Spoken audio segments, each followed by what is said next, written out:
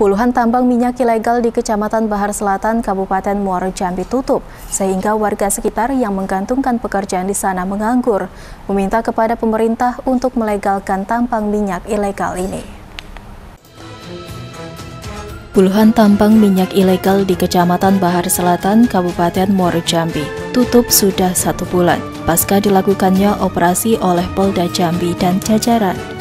Semua aktivitas di lokasi sudah tidak ada lagi, bahkan pipa penyedotan minyak juga sudah dicabut.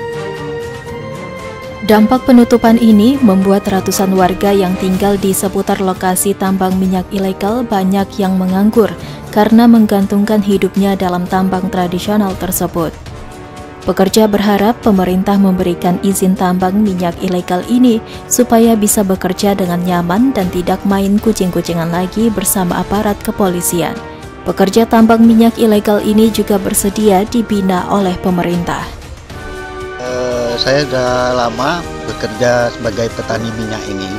Uh, kami masyarakat di sini ya inilah pekerjaan kami pak. Nah kami sangat mengharapkan sekali ada binaan dari pemerintah gitu.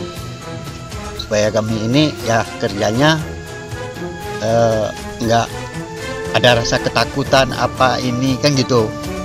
Nah jadi ya dengan adanya macam ini ya masyarakat di sini bergantung hidup di minyak ini pak. Sejumlah pekerja lainnya juga meminta kepada pemerintah untuk melegalkan tambang minyak ini. Dengan adanya tambang minyak ini membuat lapangan kerja dan mengurangi angka kriminalitas. Dimas Sanjaya, Cek TV, melaporkan.